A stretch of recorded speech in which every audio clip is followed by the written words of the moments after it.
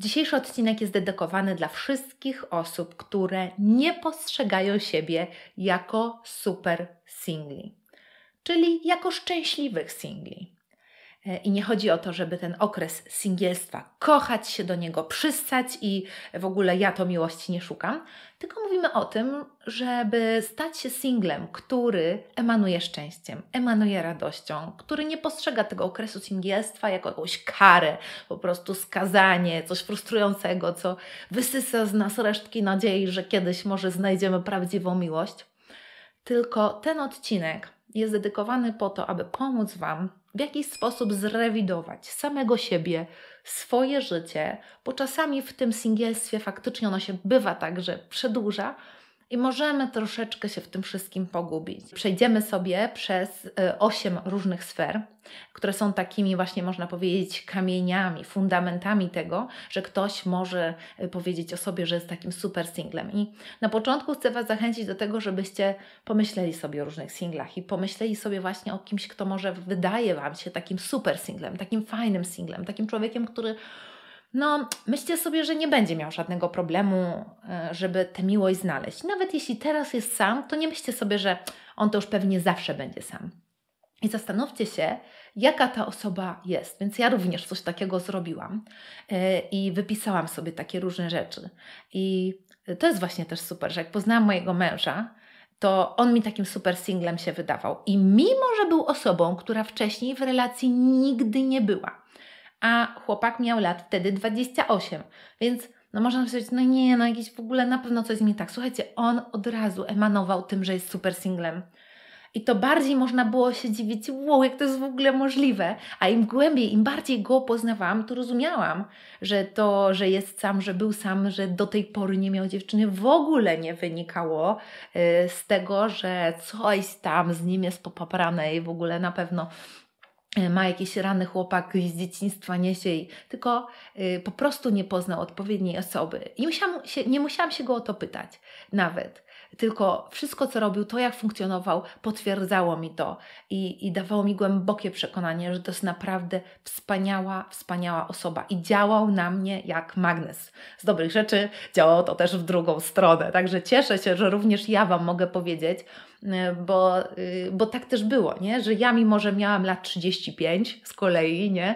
i że y, przez wiele lat czekając na Tomka, nie to, że byłam sama zawsze, bo miałam jedną taką sześciomiesięczną relację, jedną taką roczną, ale ogólnie przez 8 lat można powiedzieć, że głównie byłam sama i mimo właśnie tych lat, które mijały, to nie decydowałam się na to, żeby za jakimiś kandydatami, którzy tam powiedzmy smolili cholewki, jeżeli uznawałam, że oni nie są dla mnie, że nie będę z nimi szczęśliwa, że mają w jakiś sposób inne wartości, inne życiowe cele i czułam, że to nie zadziała, to w takie relacje nie wchodziłam, nie rozwijałam ich e, i, i potrafiłam właśnie być sama.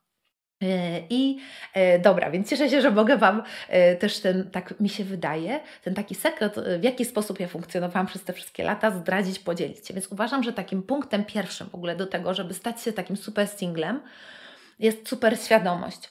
I dla mnie też tak to było, że przez 27 lat, można powiedzieć, 27 lat życia, ta moja świadomość przez ten okres na pewno bardzo wzrastała. I nadszedł taki moment, kiedy zrozumiałam, że ja do końca w swoim życiu nie postępuję zgodnie z tym, kim tak naprawdę jestem. I to takie nasterowanie mojego życia na to, żeby zacząć żyć zgodnie z tym, kim tak naprawdę jestem, jakie są moje marzenia najgłębsze, to było niesamowicie ważne, aby wejść na zupełnie inną właśnie e, drogę w poszukiwaniu miłości. Wcześniej byłam w relacjach, w relacjach, które nie wiadomo, można powiedzieć z dupy, przepraszam za takie słowa, ale tak, byłam, latali, wszystko zapatrzeni, zdobywali, a one te relacje się kończyły i w ogóle nie potrafiłam tego zrozumieć. I myślę, że przez to, że wcześniej nie byłam tak siebie samej świadoma, e, i tego, kogo tak naprawdę szukam i czego tak naprawdę po, potrzebuję, tylko w jaki sposób dałam dałam, e, dała, pozwoliłam na to, aby ten świat zewnętrzny, jakieś trendy, jakieś wizje przedstawiane przez, przez dzisiejsze media, relacje, jak one powinny wyglądać, i weszłam w to, słuchajcie, a to tak naprawdę w ogóle nie korespondowało z tego, kim jestem, e, czego tak naprawdę pragnę, jakiej osoby tak naprawdę szukam. E, I wcześniej to była prawda, duża ilość relacji, bardzo krótkie okresy pomiędzy związkami, a później było już właśnie zupełnie inaczej. I myślę, że tym takim, co się wydarzyło pomiędzy, to był naprawdę ogromny skok samoświadomości. Często niestety po tę samoświadomość yy, sięgamy przede wszystkim i rozwijamy ją w bardzo dużym stopniu przez kryzys. Bo kryzys, ogromna jakaś depresja, yy, cierpienie, smutek, u mnie spowodowany serią nieudanych relacji, to zmusza nas do tego, żeby przyjrzeć się samemu sobie, temu, jak ja żyję, kogo ja wybierałam. I nie chodzi o to, żeby samego siebie później tam biczować za te wszystkie wybory, tylko pod, o, właśnie chodzi o to, żeby później te życie potrafić w odpowiedni sposób przebudować.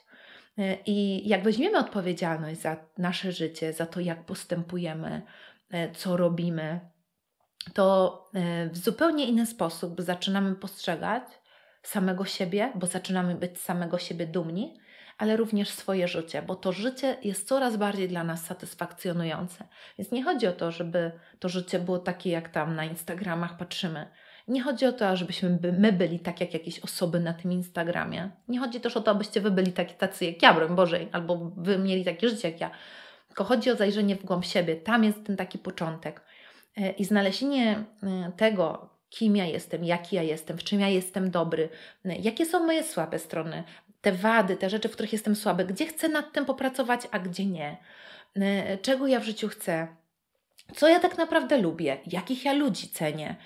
Czy ja lubię w ogóle towarzystwo ludzi na co dzień, czy nie? Czy ja wolę tak jeden, jeden, czy ja wolę z grupą? Czy ja lubię spędzać czas aktywnie, czy nie? Czy ja jestem domatorem, czy to jest takie, takie skazanie?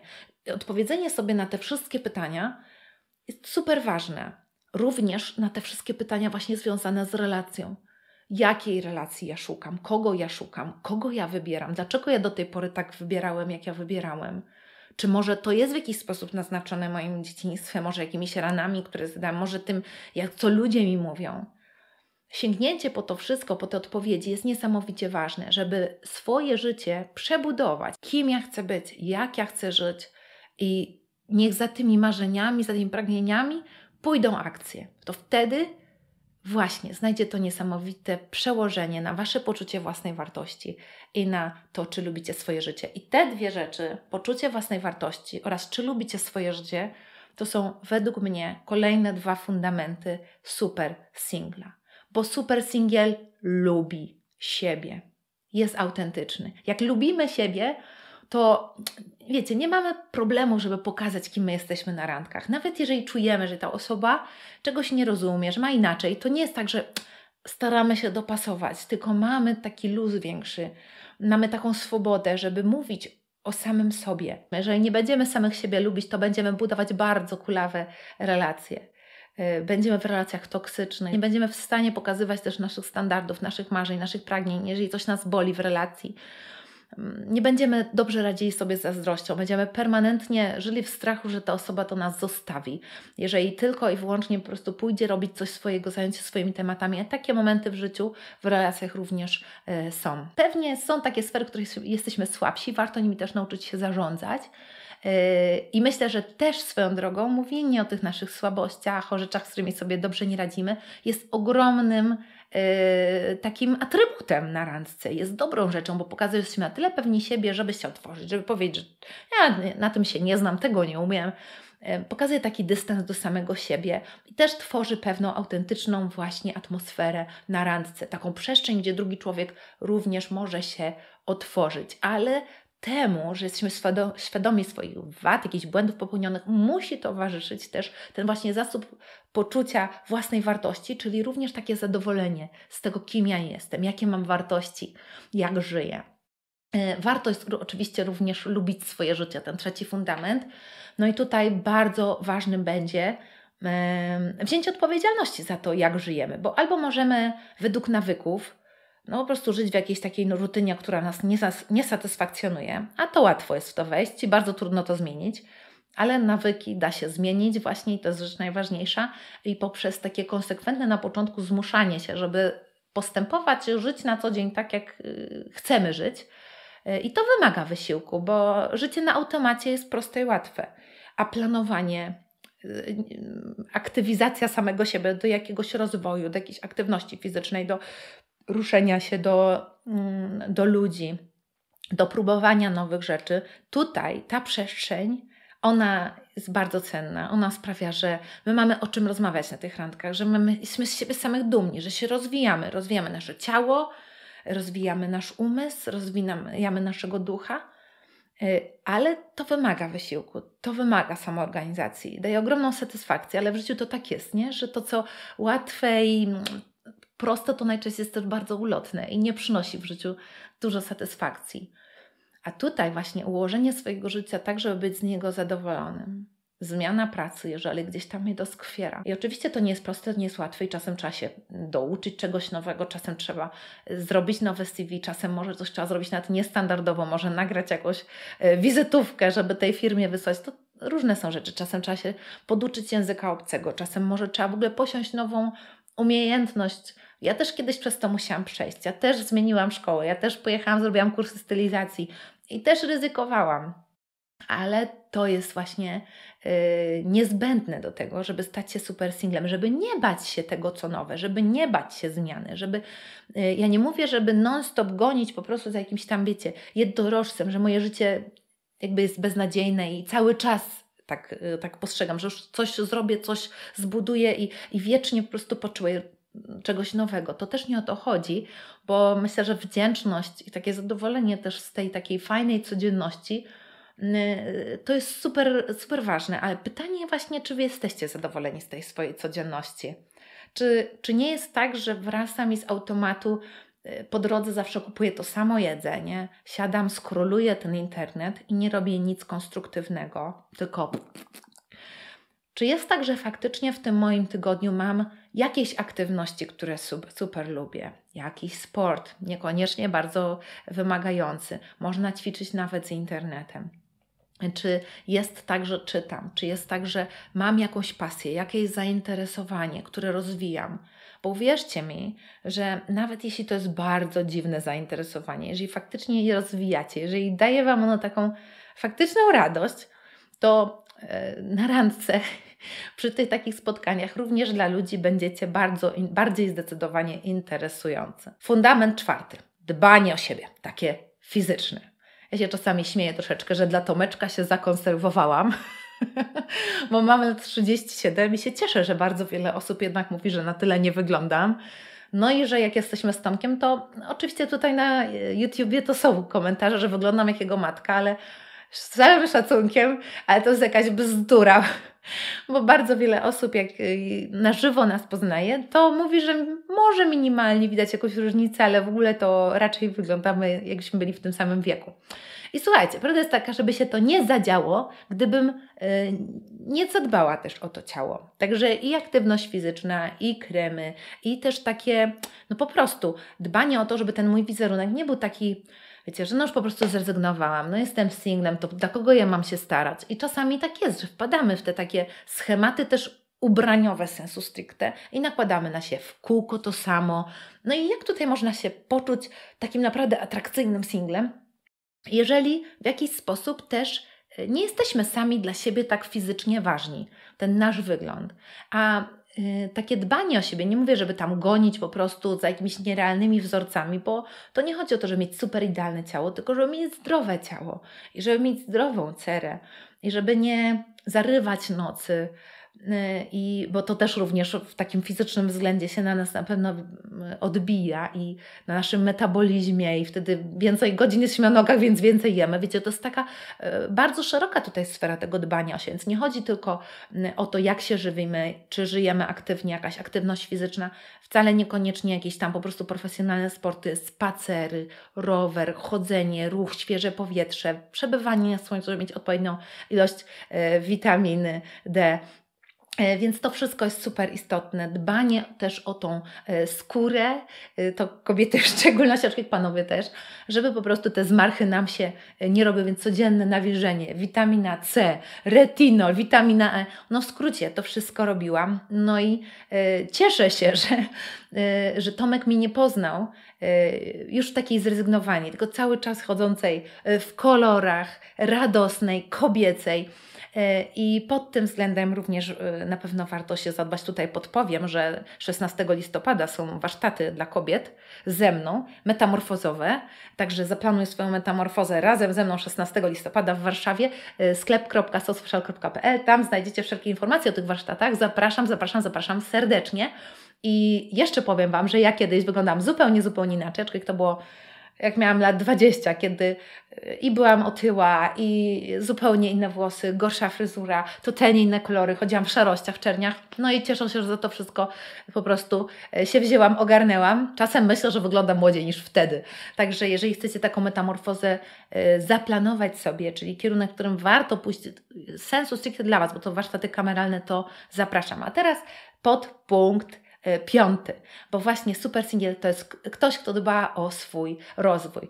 I ym, już pewnie się domyślacie, bo też to są tematy, które w jakiś sposób się zazębiają, ale ja powiem ze swojego doświadczenia, że na przestrzeni lat, kiedy na Tomka czekałam, ja cały czas się rozwijałam i myślę, że to dawało mi w ogóle poczucie, że wiecie, że, że ja jestem, nie że jakby bez tego to bym była niewartościowa, ale jeżeli ja się rozwijam, to ja jako człowiek wzrastam. I myślę, że człowiek, który stoi w, w miejscu, czyli przestaje cokolwiek robić nowego i rozwijać się, zaczyna się tak naprawdę cofać bo my jako ludzie jesteśmy stworzeni do wzrostu i no chyba też tak jest, że na przestrzeni życia mamy wzrastać i umysłowo, i z sercem, i zrozumieniem samego siebie i życia i człowieka.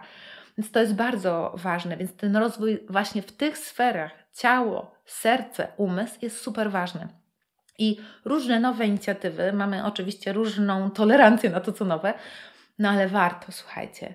Ja pamiętam, że yy, często na przykład właśnie próbowałam nowych sportów, ale też trochę dlatego, że się kontuzjowałam. Ale ja ogólnie polubiłam, wiecie, próbowanie czegoś nowego, więc taką wielką moją miłość, czyli kickboxing, odkryłam właśnie na przestrzeni bycia samemu, na przestrzeni tego okresie, okresu singlesa. Co pyta, obecnie od stycznia jestem skontuzjowana i mam zapalenie kaletki i niestety musiałam zostawić kickboxing i nie mam pojęcia, kiedy to się zreperuje. E, ale tego typu również różne ruchy, próbowanie różnych sportów, aerobików, nowe podróże, nowe miejsca yy, i szukanie tego wszystkiego, a to jest naprawdę na wyciągnięcie ręki, odwiedzanie nowych miejsc, nowych restauracji. Yy, jest tyle niesamowitych materiałów na YouTubie do tego, żeby się uczyć języków, ćwiczyć pilatesy. No, no wszystko tak naprawdę jest obecnie dzięki internetowi dla nas dostępne.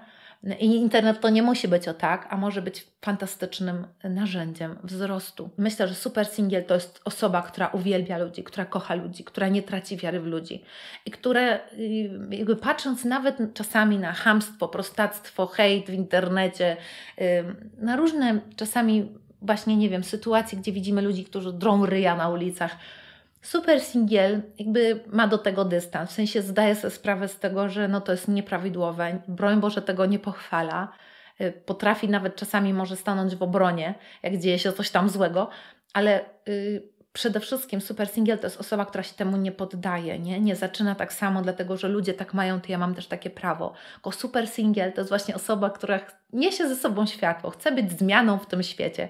To jest osoba, która ma w sobie ten pozytyw która też w takich czasami trudnych zachowaniach ludzi, nawet właśnie w jakichś odruchach, że ktoś kogoś krzywdzi, widzi, że coś za tym musi być nie tak, że tam jest jakaś historia, że tam jest jakiś ból, że tam jest jakaś krzywda nieprzepracowana. I E, można nawet zmienić takie odczucia, zamiast jakiejś wściekłości, zamiast pogardy, można zmienić coś takiego właśnie w współczucie, w jakieś zrozumienie, w jakąś empatię, w taką nadzieję, że ten człowiek zrozumie i się zmieni. E, więc dla mnie właśnie takie pozytywne nastawienie do ludzi to też bardzo dużo świadczy o nas samych. E, I taka nienawiść do ludzi, takie myślenie, że ludzie w dzisiejszych czasach to są dziwni, że wszyscy są zepsuci, że w ogóle są, no, no że w ogóle cały świat, to e, też trochę znaczy, że, mm, że niesiemy jakieś krzywdy bardzo duże, nieprzepracowane, które dotknęły nas. I pod tym względem myślę, że też warto sobie popracować i przede wszystkim szukać swojego grona ludzi, takich właśnie, które, którzy będą podtrzymywać w nas nadzieję w drugiego człowieka, takich ludzi, którzy żyją dobrymi wartościami, pielęgnują je. I e, kolejny fundament to jest nastawienie do y, miłości. To zgorzknienie, które czasami zagląda do nas, jak jesteśmy sami, puka nam do drzwi, to jest coś, co, mm, co jest bardzo, uważam, takim trudną rzeczą, ale z którą naprawdę trzeba aktywnie walczyć i zmieniać te takie negatywne myśli w pozytywne myśli. Tutaj oczywiście podpowiem o platformie lekcjemiłości.tv, która super w tym wszystkim pomaga. I ona przede wszystkim właśnie do tego służy, żeby jeżeli mamy pewne schematy myślowe, które non-stop sobie powtarzamy, że my to jesteśmy niewystarczający, że już się nie zakochamy w nikim, że nas miłość nie spotka. Afirmacje takie pozytywne, po prostu powtarzane non-stop, faktycznie wpływają na to, że to myślenie mamy szansę zmienić, ale zmiana tego chwilę trwa i dlatego właśnie powtarzane afirmacje właśnie razem z tą platformą mogą w tym Wam pomóc. I teraz zobaczcie sobie, jeszcze tak chcę to mm, dość wyraziście pokazać, że jak mówimy, ja nie wierzę, że znajdę miłość. Ja nie wierzę w miłość. Ja w ogóle w dzisiejszych czasach nie ma miłości. Jeżeli ktoś by Wam tak powiedział, to co byście sobie pomyśleli o tej osobie? Bo ja bym pomyślała, że to jest osoba, która nie ma y, zbytnio y, mocno zbudowanego poczucia własnej wartości. Że to poczucie własnej wartości jest dość kruche. No ktoś mówi, ja to nie wierzę, że znajdę miłość. Osoba, która lubi siebie, myśli, że znajdzie miłość. Myśli, że jest na tą miłość y, jakoś przygotowana, że jest gotowa, że jest warta tej miłości. Mm. Kolejna rzecz właśnie to jest to negatywne nastawienie, które bije z tego y, zdania. Nie wierzę, że znajdę miłość. I umówmy się, to również nie zachęca y, ludzi do nas jako do potencjalnych partnerów. Bardzo często to zdanie ja nie wierzę, że znajdę miłość, jest takim jasnym znakiem, że ktoś ma w sobie nieprzepracowaną ranę i że na tę relację nową nie jest jeszcze gotowy. Ta osoba jeszcze żyje przeszłością, jeszcze przerabia te wcześniejsze tematy, może jeszcze tęskni, może jeszcze tam sączy się jakaś rana właśnie po jakichś zranieniach, po jakichś oszukaniach, po jakichś opuszczeniach. Coś tam jeszcze jest. A jeżeli mówimy, ja wierzę, że znajdę miłość, takie zdanie przede wszystkim nie brzmi jak zdanie desperata, który żebra o naszą miłość. Jak coś takiego ktoś mówi na randce. Bo on nie mówi, że o, czy znowu się z nami spotkasz, ale ty jesteś super. Mówi tak, ja to wierzę w to, że, yy, że, że jest dla mnie gdzieś osoba. To wręcz może sprawić, że druga osoba myśli, wow, ale super by było, gdybym ja był tą osobą, prawda, dla tego całościowego, zbudowanego człowieka, który jest takim chodzącym światłem, chodzącym nadzieją, który wierzy w to, że tę miłość znajdzie. I ostatnia już rzecz to są nasze umiejętności społeczno-komunikacyjne. Rzecz super ważna, bo umówmy się, że randki i najczęściej niestety chodzimy na te złe, słabe, takie, na którym no jednak to było nie to. E, I na nich bardzo często właśnie jest tak, że ta gadka się nie klei, że było sztywno, i my czekamy z upragnieniem na to jedno spotkanie, na którym kliknie, na którym czujemy się jak w domu, że było tak naturalnie, że było tak autentycznie, że jakby od razu było czuć jakąś więź, jakbyśmy się rozumieli, jakbyśmy się już trochę znali. I umówmy się, słuchajcie, że zdolność prowadzenia rozmowy w taki fajny sposób to jest do wypracowania tylko to jest umiejętność mówienia i słuchania w odpowiednich proporcjach. To jest umiejętność słuchania i słyszenia i bycia obecnym w danym momencie i zadawania odpowiednich pytań i komentowania w odpowiedni sposób. To jest umiejętność otwierania się i mówienia o samym sobie w sposób interesujący. Czyli nie, że e, co robisz w wolnym czasie, a uprawiam sport tylko to jest umiejętność również wplatania w nasze wypowiedzi emocji, naszej radości, jak coś przeżywamy, dlaczego coś robimy, co nam coś daje. Wplatania również pewnych ciekawostek na temat dziedzin, o których mówimy, które nas interesują. Wplatania, wplatania też pewnych historii, które się wydarzyły, które są intrygujące, interesujące, zabawne. Więc to wszystko absolutnie da się wyćwiczyć. Da się wyćwiczyć również mówienie o rzeczach trudnych w naszej historii. I to tworzy wrażenie, że my jesteśmy sobie bliscy, bo myśmy się otworzyli, bo myśmy odważyli się przed drugim człowiekiem, otworzyć nasze serce, mówić o czymś, co było trudniejsze. Drugi człowiek to przyjął, wysłuchał, więc czujemy się zaakceptowani. I również umiejętnością ogromną jest danie tej samej przestrzeni drugiemu człowiekowi. I to wszystko, słuchajcie, można wyćwiczyć. I z ważnych rzeczy to właśnie na tym w dużej mierze będziemy się skupiać na warsztatach, warsztatach Super Singiel, które będą miały miejsce już 21 września od 11 do 18 w Warszawie. Warsztaty na żywo, kameralne, 12 osób, są jeszcze ostatnie miejsca, ostatnie bilety. Także zapraszam Was bardzo, bardzo, bardzo serdecznie. To będą pierwsze w historii takie warsztaty podczas których właśnie tym wszystkim aspektom, o których dzisiaj mówiłam, będziemy się przyglądać. Będziemy mówić dokładnie o Waszych przypadkach, o Waszych historiach, o Waszych potrzebach, o Waszych wartościach, o Waszych mocnych stronach i słabych stronach. I będziemy tworzyć sobie mapę, dokładny plan co do tego, co ja muszę zrobić, aby tym super singlem się stać. Bo ja Wam nie obiecam, że Wy swojego super męża, super żonę bo to jest bardzo ważna rzecz. Warsztaty są i dla kobiet, i dla mężczyzn, także zapraszam. I będą też panowie, także odważajcie się, nie bójcie się i kupujcie bilety. Również panowie, bardzo zapraszam. Więc jakby ja Wam nie obiecam, że Wy męża poznacie za 3 dni, za 4 dni. Nie, tylko Wam nie obiecam. Za 5 miesięcy też nie. I też kiedyś nikt nie był w stanie mi obiecać, kiedy pozna męża, i ja nie miałam pojęcia, że na męża, no to poczekam sobie do 305 roku życia, żeby go w ogóle poznać ale go poznałam. Y, I cieszę się, że ten okres do nie byłam pełna zwątpienia, zgorzknienia, zaniedbania y, siebie samej, tylko ten czas totalnie wykorzystałam co do tego, żeby się na Tomka przygotować. I cieszę się, że poznał mnie radosną, uśmiechniętą, pełną różnych opowieści z tego czasu, y, który właśnie był przed tym, jak go poznałam, że w ten y, moment właśnie, kiedy, kiedy się poznaliśmy, weszłam też z ludźmi innymi, czyli bo także ludzi w moim życiu nie ma. Ja po prostu tylko gonię randka, randka, randka, randka, no bo jestem sama i co tutaj robić w czasie wolnym. I żeby nie było, to też ja jako singiel, moi wcześniejsi znajomi się pożenili, nie byli dla mnie tak dostępni. Więc ja musiałam zbudować nowe grono znajomych. I wierzę to, że jak będzie tym super singlem, to również pod tym względem będzie Wam łatwiej, bo będzie Wam łatwiej budować nowe znajomości, również te przyjacielskie.